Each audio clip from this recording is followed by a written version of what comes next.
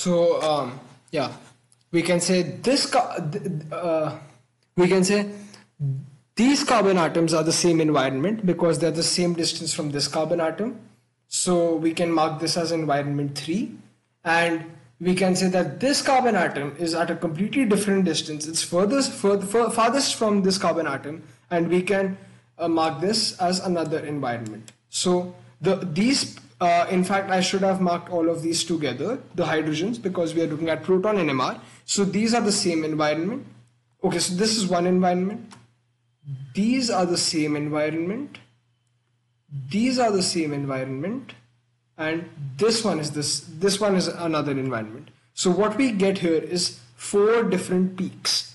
Now, one peak will be one peak will be a singlet due to the OH group. The other peak will be a, doublet, a, a doublet in this case, because we can see that it has a neighbor of uh, the neighboring carbon atom has one H atom, and uh, it's a different chemical environment. So we can say that it ha- it will have a doublet. So this chemical environment will have a doublet, a doublet, and it will be integrated uh, to two. This is integrated to one, so it will be integrated to two because two hydrogen atoms. This environment will have a triplet because one from here neighboring and one from here. So we will have one like this. So we will have one like this. And uh, this will also be integrated to two. So actually these two should be the same height because these two these two peaks are for the same number of protons. Two protons two protons and this for the OH this is one proton. And this will be integrated to one only again because uh, we have a single proton attached here and it will also have a doublet because uh, we have the neighboring carbon the neighboring carbon atom has one hydrogen atom. We don't consider both of these because these are one group. So the neighboring has one hydrogen so we only consider one. So we will take this as a doublet. Now i want you to know that this group has a different chemical shift after all you know that.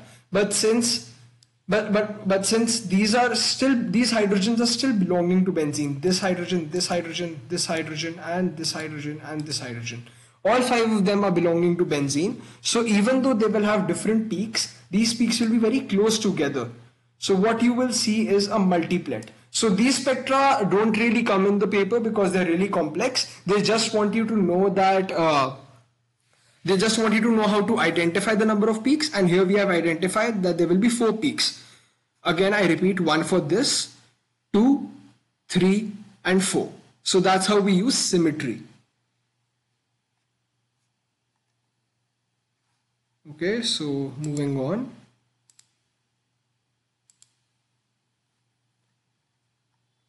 Yes, so this is another benzene derivative. It's a molecule made from benzene. It's actually trinitrotoluene (TNT). You might have heard it heard about TNT explosives. It's actually this molecule that is used in those explosives. Uh, these are the nitro groups. Um, yeah, these are the nitro groups. NO2, NO2, NO2, and uh, this is the toluene group. So basically, uh, is also known as toluene so this is trinitrotoluene used explosives. Now, when we now let's do the proton NMR spectrum for this really quickly. Let's first see the symmetry. So I can divide it like this, and when I fold it, I can I get symmetry because um, the right side completely overlaps with the left side. So I get symmetry over here. And uh, let's start counting the number of proton environments.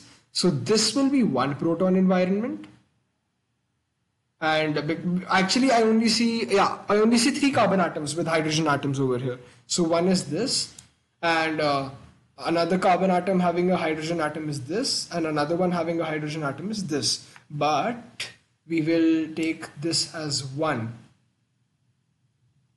Uh, these two no not this one. Uh, these two we'll take as one. Because if you see both are at the same distance from this carbon atom and same distance from these two these are symmetric and same distance from this group symmetric. So sorry. So what we will get here is we will get two peaks. One will be due to this ch3 group and one will be due to th these two. So we'll get a singlet over here integrated to 3 because